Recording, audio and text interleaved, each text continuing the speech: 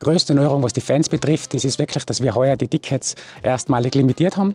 Das heißt, ich bitte alle, die was wirklich zu den Hahnenkammrennen kommen wollen, sich online ein Ticket ähm, zu besorgen. Es ist so, dass wir am Samstag mit sehr, sehr großer Wahrscheinlichkeit oder eigentlich sicher davon ausgehen, dass wir ausverkauft sind. Das heißt, alle für Samstag, die zuschauen wollen, schaut, dass rechtzeitig zu den Ticket kommt. Es gibt vor Ort keinen Kartenverkauf. Freitag und Sonntag schaut es mit den Kapazitäten noch gut aus. Da können auch Kurzentschlossene gerne auf, der Anreise online noch ein Ticket lösen. Also Limitierung klingt sehr drastisch. Unser Ziel war einfach, dass wir quasi ähm, uns auf eine Gesamtzahl an Zuschauern einigen, die was wirklich aus unserer Erfahrung noch sehr gut zu bewältigen ist. Und das sind pro Renntag 45.000 Zuschauer.